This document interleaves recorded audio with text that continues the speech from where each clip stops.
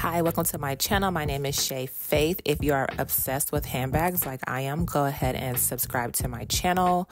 Today we will, we will be going over the Coach Penn Shoulder Bag in the color magenta and with brass hardware. I mean, look at her. She is stunning. She is so pretty. She is girly. She's dainty. I'm obsessed. She comes with a little cute dog tag on the side and patent leather as well. It has a turn lock, and on each side of the turn lock is um, Coach, which I thought was very cute.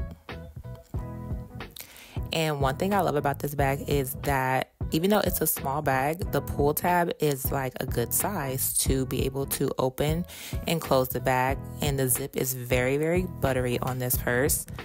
She comes with a cloth since she is patent leather to probably clean off like the fingerprints and whatnot. And I am just so excited to see how this bag ages because Coach, for one, has great leather and patent leather on top of that. I just feel like this bag will last a very, very long time. So let's see what fits inside her. She is small, but um, she's definitely a good bag to carry your essentials in. Let's start off with what phone I have. It is the 12 Pro Max, um, the biggest phone, and she fits in there pretty good. And realistically, I do not carry a phone in my purse. This is just for video purposes to get an idea of what can fit inside. There's the key clay, and this bag also has three card slots on the inside. And I feel like you don't need a wallet or a card case. And here's the AirPods to see um, how that fits inside because it's kind of bulky. And then lastly, I always have to have a gloss in my purse. So that is what fits, and it is kind of tight. And then, like I said, the zip on this bag is very, very buttery. I just love it. Oh my god. And that how is how it is packed in there.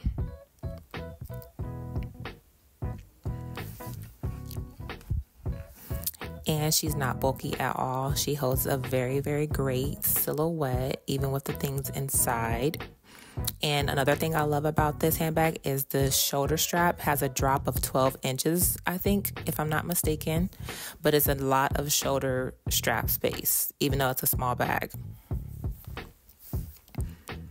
So to be even more realistic, I'm going to take out this key clay card case and put the cards inside of the slots because realistically, that is what I would do to um, save space inside of this bag.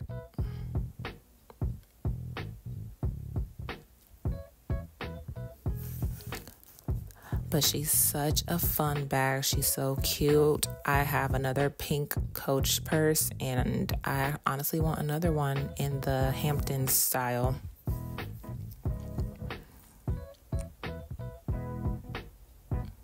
And the inside of the bag is lined with like a toffee brown color and also like the other side of the strap it's also that brown color which I low-key wish they would have made pink on the outside of the strap